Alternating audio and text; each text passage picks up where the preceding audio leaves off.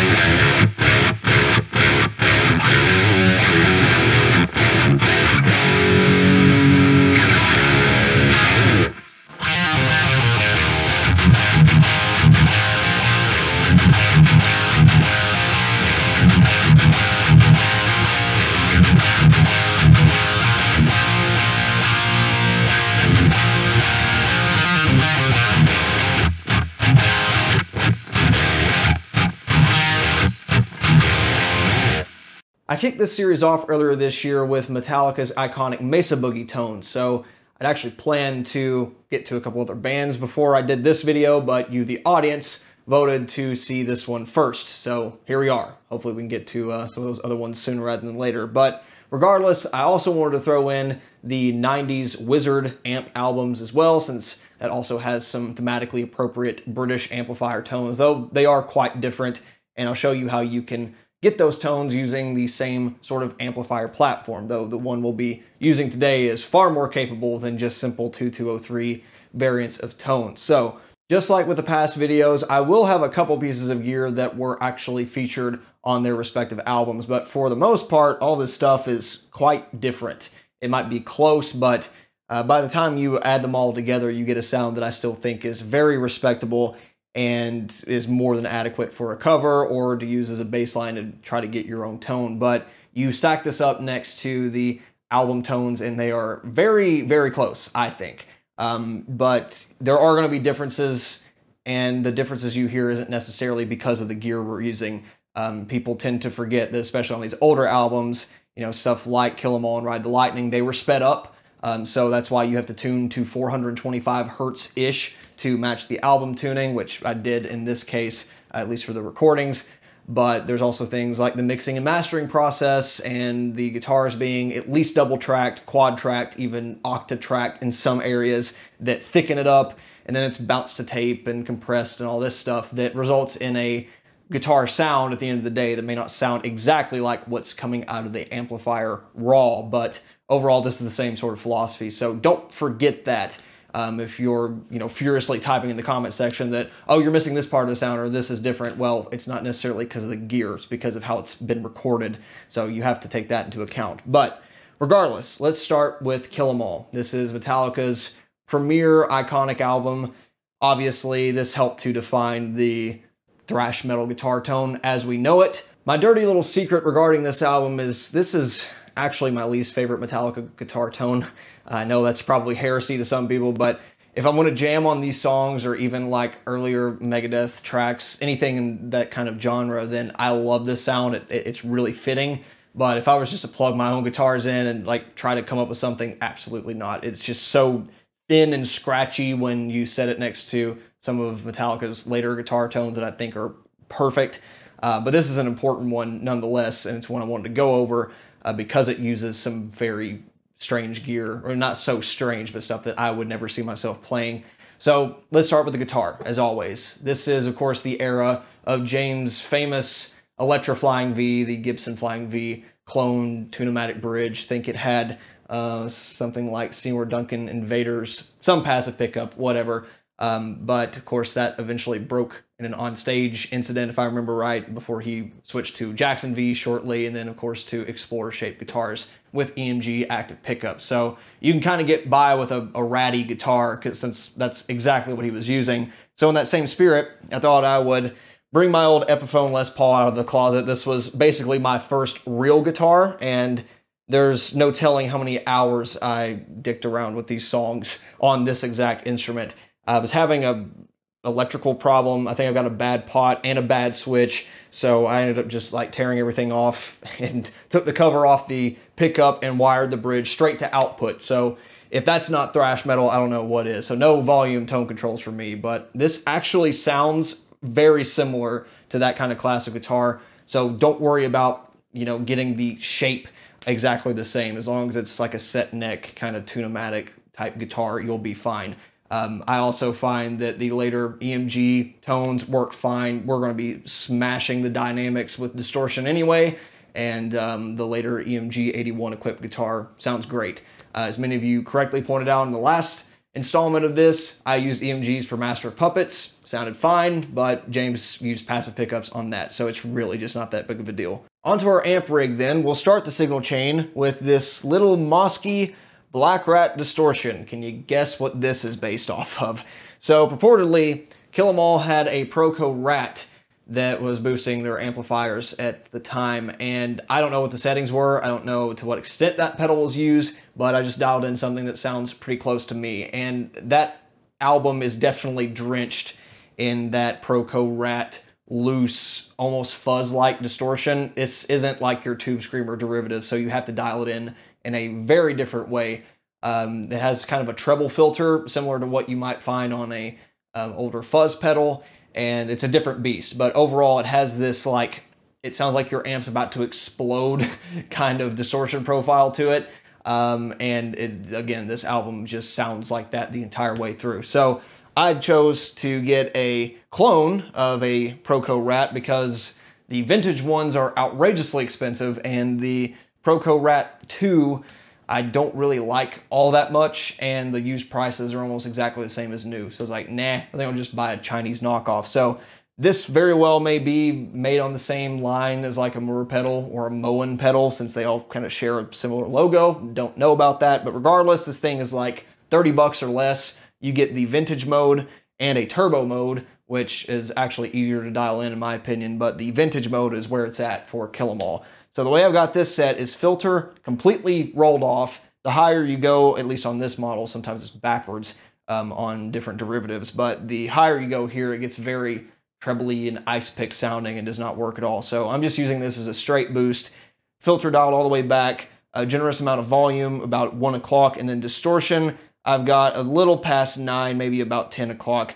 And this is kind of that area where I felt like the output volume compared to the breakup was right around the right area for me. But it's going to depend on the pedal. Either way, for Kill 'Em All, you're going to want a pedal that does something like that.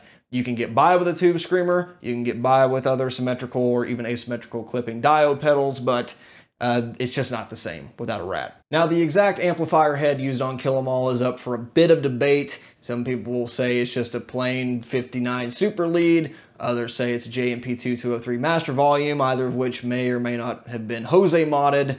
My guess, just based on some of the pictures I've seen, is towards the 2203 side of things, but it really doesn't matter. I think as long as you have a master volume plexi or plexi derivative style amp, it's going to work. It just it's not that important. You will want master volume though because we're going to be cranking the gain quite high. Um, and any lack of distortion you might have, you could probably make up for turning some of the stuff up on the rat. But anywhere in that early JCM 800 or JMP 2203 area is, is going to do fine. So to cover that, I'm using my Cherrytone Gargoyle Hot Rod Plexi. And the cool thing about this amp, besides having, you know, your standard sort of British style uh, tone stack controls and all that good stuff, we have cascading gain controls. So you can kind of filter in and out how much high frequency distortion you want. Gain 1 is more or less focused on that. Gain 2 kind of behaves more like your regular plexi style normal channel, um, you know, kind of gain, although it, it's got plenty of headroom. This thing can absolutely scream, or you can take advantage of like the low input and make it almost entirely clean. So on the high channel, I've got this dialed in where gain one's about at noon at five, and then gain two at eight, and this would kind of balance out to be sort of like a JCM 800 around seven. Um, and then our tone stack is not exactly what I have to what James purportedly dialed his in at the time, but it, it definitely gets in that scratchy territory. So treble maxed, I know, uh, middle at noon, and then bass around six. I also have presence completely maxed out as well, and uh, the depth circuit off, seeing as how, you know, that wasn't really a thing on those old school amplifiers. Um, in the room, this thing is like ear bleeding. It's not, you know, even on the quieter volumes, it's just so scratchy. Uh, but it's kind of what it's meant to sound like. By the time you mic it up, it definitely changes. But uh, this is something that, you know, for my own personal taste, I would dial back the treble. I could stand to even have the present circuit off completely, but um, it's a it's a it's a sound. We'll say that much. I also have one of the bright switches engaged. This is the 4700 picofarad cap uh, kind of sounds more like the you know higher gain treble channels or bright caps that were used on those amps at that time. Another advantage this amplifier has though is an effects loop and I wanted to take advantage of that to get just a little bit closer to the Kill 'Em All sound without having to use outboard gear or relying on plugins or whatever. So in the effects loop I have my trusty MXR 10 band. I've got basically a little bit of a bump to 500 hertz, a little bit even on 250, 1000 um, a little bitty boost to presence of like 4K and 8K, but really this is just kind of give that mid-range honk that's presence on the album and is really um, used to dial in my cabinet a little better, but we'll get to that in a moment. So um, on all these tones, I'll be taking advantage of the 10-band EQ, so if you've got anything like that, whether it be parametric or graphic, it definitely helps for these style of tones. Finally, I have a Boss RV5 that's taking care of some of the room reverb sounds. Again, depending on how you would record this kind of stuff, you may not need this, but um, for more reasonable volume levels, Kill 'Em All has a lot of reverb as well as Ride the Lightning. So I decided to use this at about 40% level and similar settings for time and tone on the room setting just to kind of give that old school studio sound. There's also like something like a, a slapback delay on the different channels. You can kind of hear when guitars are solo, but I didn't go after that. Regardless, you know, this just sounds more like you're recording in a, a, big studio. So definitely optional, but I found it to be kind of the, the missing final touch to make it sound like Kill 'Em All. All of that, of course, goes through this T75 equipped Marshall 2x12, though exactly what speakers and cab was used on Kill 'Em All is again a subject for debate. Some people have said that it's just greenbacks, other people say it's 65 creambacks like later albums. I don't think it really matters all that much as long as you're using some 4x12 Marshall sounding enclosure because this thing very much does that job. And as long as you can kind of compensate it for it with other gear like graphic EQ or changing your tone stack settings a bit, then you'll get close enough. Um, but I am using a single SM57 microphone because the last Metallica video was so phase heavy, multi-mic setups. You got one close mic, one in the room.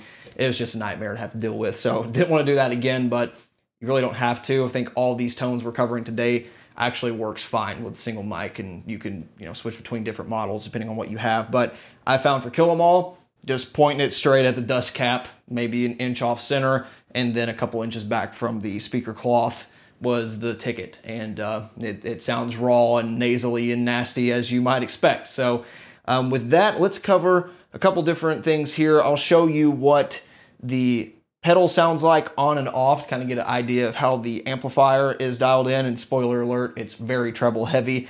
And then we'll switch between the actual cabinet mic sound and what you'd hear with the impulse response. That way you can get an idea of what to expect with you know minimal post-processing versus if you were to use this in a direct application. And of course, I will provide all these IRs again for those of you that uh, were interested in that.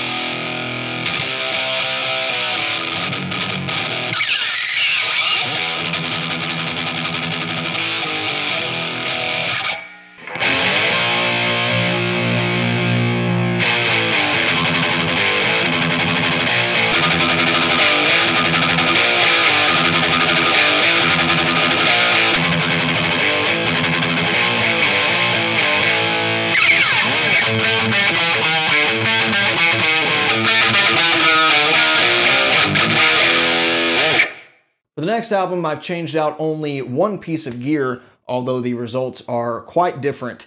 So we're now starting our signal chain with the Ibanez Tube Screamer Mini, not changing the guitar just like Hetfield did, but this is basically Ibanez's small form factor tube screamer. It's got the same sort of TS9 circuit. And I've got it dialed in so that level is at max. We got tone right around noon, so it's in that 720-ish hertz sweet spot. And just a touch of overdrive, since this isn't actually all that much of like a distortion type pedal. I'm just using this to get just a touch of compression, just a, a little bit of grittiness to the incoming signal. I don't want to change the overall amp sound all that much, but uh, this is used just to kind of, you know, do the classic metal boost. Purportedly, uh, James actually doesn't like tube screamers and quit using them after this point. And in fact, I'm not sure that his tracks were even all that much filled with tube screamers, but uh, Kirk Hammett was using them at that point and continue to use them for some time. And I get the Ride the Lightning sound out of this way. So you probably got quite a bit of leverage with um, that pedal as well. But what is known is that the amplifiers they used on Kill 'Em All were basically stolen at some point, so they did have to change over to JCM 800 heads for Ride the Lightning. These are the same ones that were later modified to be used basically as slave power amps. And to reflect that, I actually didn't change a whole lot here, but uh, according to online resources, he did continue to scoop the shit out of the mids around this point. So treble, I've rolled back only to nine, only nine, I know. Uh, middle is at a whopping one, and bass is at six. No presence here, and this is to achieve that kind of scooped out, really uh, low end, heavy sound you get on Ride the Lightning. I didn't change the gain or the bright switch, still going into the high input as well. Changing the tone stack settings on its own wasn't going to cut it though, so I also made some modifications to the 10 band, which resulted in this sort of twin peak type of thing where at 250 and 8K, you got a little bit of a bump around each frequency and then uh, a little bit of a scoop at 1 and 2K. And this very much reflects the overall sonic signature of that album. The palm mutes become just massive. Uh, there's just this perfect chug quality that makes Ride the Lightning one of my favorite recorded Marshall tones ever, and probably my favorite for standard tuned material. It's just so hard to replicate um, without having something like this. Um, of course, if you're going through microphone preamps and all that, I'm sure getting the recorded tones fine, but um, in the room, it's it's something that can be a bit difficult. But all that combined, it, it actually turned out to be something that's quite similar. And then still going through the same cabinet, but this was an album that was supposedly recorded with 65 creambacks, so these are really close to those speakers in terms of their sonic signature. Now the microphone did see some movement as well, still sticking with the SM57. I didn't actually change the position of the microphone stand hardly at all. In fact, the distance is basically identical, but I did tilt it 45 degrees or roughly around that to point near the edge of the dust cap, almost right on the cone. So we're in that kind of gristly speaker area. And all those factors combined help make it the Ride the Lightning tone as we know and love. So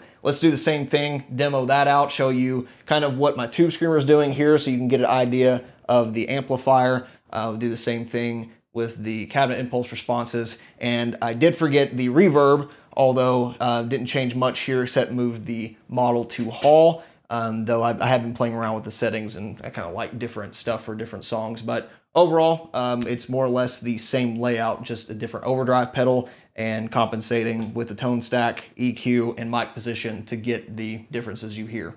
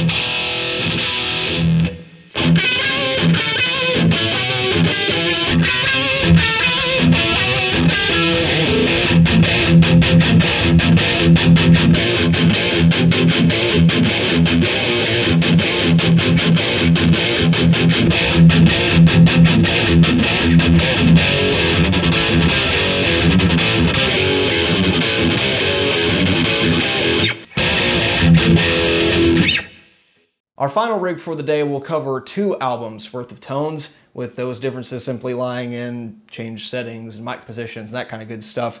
I've downsized in one way, we've ditched the reverb pedal because there's no real appreciable reverb that you hear on the rhythm tones, though if you wanted to, you could absolutely keep with that. But otherwise, I've only swapped out an overdrive pedal in the cabinet as well as the guitar. So I've changed over to my Wylde Audio Blood Eagle because this is an Explorer shaped guitar with an EMG 81 in the bridge. And that's mainly the thing that matters as well as the Gibson scale length. But this was during the prime time of James Hetfield playing Explorer shaped guitars with EMG pickups. So um, this is tuned to everything, uh, anywhere between E flat standard, C sharp standard, D standard. They played a lot of different tunings depending on the songs uh, at that point. So you'll hear that reflected in the demos. Anything that can handle that in terms of string gauges and guitar setup is what you'll want though. Again, this isn't super uh, picky in terms of what guitar you're using, but I do think the Gibson scale length helps and anything with a Tune-o-matic bridge especially just gets the right amount of chug and it's more about feel for me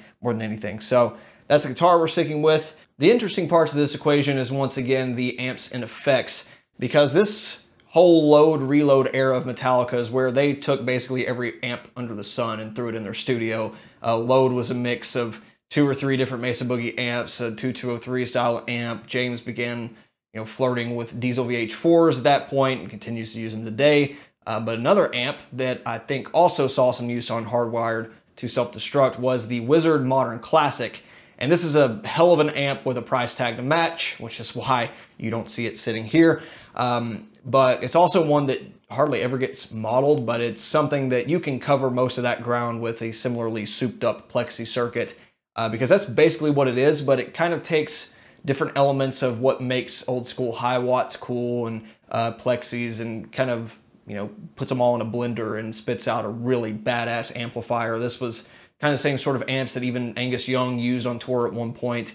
Um, they sound really cool. There's a squishiness to their gain structure that almost reminds you of like an old, you know, SLO 100 or um, early dual rectifier, but it's undoubtedly British voice um, but you could still get something very aggressive and contemporary out of it. So it was a really great fit, I think, for the James Hetfield style around the Reload and Garage Inc. eras. And so that's what we're going to try to sound like today um, with this rig here. So of course I'm using the same Tone Gargoyle. I didn't change too many settings from last time for the Ride the Lightning stuff. I did um, add a little bit more on gain one just to add in a little more high frequency content. I think the Wizards do something similar. You could definitely tell there's some filtering going on in the gain stages. Um, but everything else pretty much the same. Left depth alone, you could definitely turn that up if you wanted to, since Reload and Garage Inc. are very low end heavy. Now this amp on its own already sounds fantastic. It's a really articulate, crunchy gain sound with these settings, but it's not as saturated as I want. It's not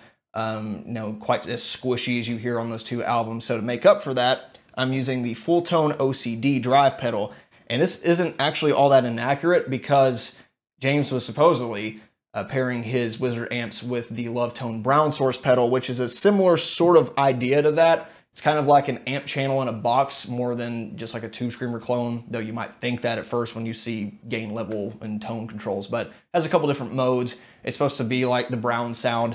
Um, once again, those things are outrageously expensive, but between all these tones we're talking about, I don't think it's really necessary because this does a similar thing where, you know, this isn't your tube screamer. Number one, the output level, the headroom is just insane. Uh, you'll hear how much gain this adds with volume all the way back here. This is higher than I think some tube screamers are maxed out. It's insane. Um, the drive is not like a clipping diode type profile. This is driven off of MOSFETs which actually results in a much more amp-like shark fin kind of distortion wave character. And when you cascade that into a tube amp, it just sounds like you've turned up more gain. It's, it's very natural. It doesn't sound like you're slamming an amp with like a, you know, a solid state pedal. It, it just adds more, which I really like about it. Um, then the tone control, it does some, you know, similar filtering technique that you might be familiar with, but it's much more open, um, not as focused sounding but also not flubby, but not overly razor tight either. Um, all these things just make this just a, a, really cool amp channel in the box of sorts. But again, when you dial it like this, it plays well with high gain stuff. And all that changes depending on if you're on the HP switch or LP switch. Um, on the HP, this is a bit higher gain and uh, more aggressive in your face. So out of all the boost pedals that I've shown in this video today, this is the one that I'm without a doubt the most impressed by. It can do anything from add just a touch of gain on top of a clean amp to push an already articulate amp into just full-blown saturation. And this is something that I'm using to make this amp just kind of sound like a different amp. It doesn't sound like it's boosted. Really, it just kind of changes the character a bit and adds that kind of squishy Hiwatt type nature that I really like about the Wizard stuff. So also still using the graphic EQ, I've cut basically everything around 500 hertz because reload is very, uh, I mean, there's mids there, don't get me wrong, but the, the frequencies where they scoop the mids very much changed, um, where it wasn't so much at the amp level. This changed as well for Garage Inc., so I moved it up a little bit, but overall it's the same sort of philosophy.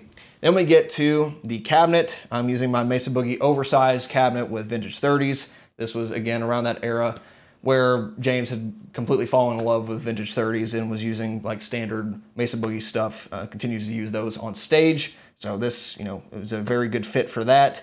And the microphone positions, um, some of which were 45 degrees, others a little bit more straight on, but uh, kind of the same philosophy as the last time where I wanted that grizzly area of the uh, speaker cone to be accentuated. But again, depending on what you're using, you're going to have to kind of play around with all the settings in tandem. But because this was already a, a, decently close approximation to what they were using, I felt like it wasn't as hard as getting Kill 'Em All and um, Ride the Lightning. So again, we'll go through the same exercise, show the IRs, the cabs, and what this sounds like on and off, and give you a couple more tones from Reload, and Garage Inc., at least the second side. We're not talking about the Garage Days. This is simply what they recorded in the 90s.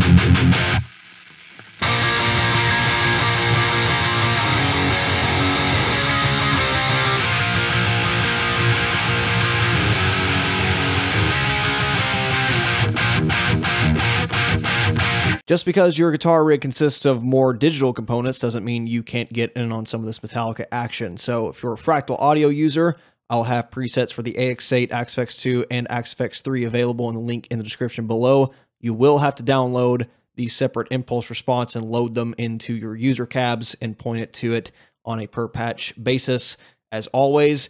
But to go over those real quickly, we have four, so one for each album. On the Kill 'Em All patch, I'm using the Rat Distortion model into the standard British 800. The mod works well as well, but I found the standard 800 sounded just fine. Got a light gate, a delay and reverb to kind of match some of those in the room sounds you're hearing on the album, and of course the custom user cab.